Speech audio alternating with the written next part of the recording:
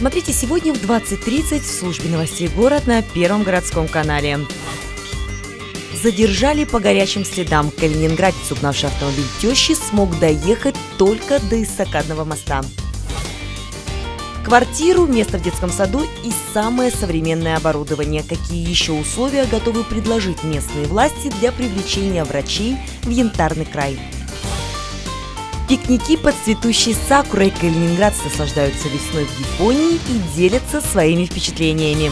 Об этих и других новостях корреспонденты Первого городского канала расскажут вам сегодня в 20.30.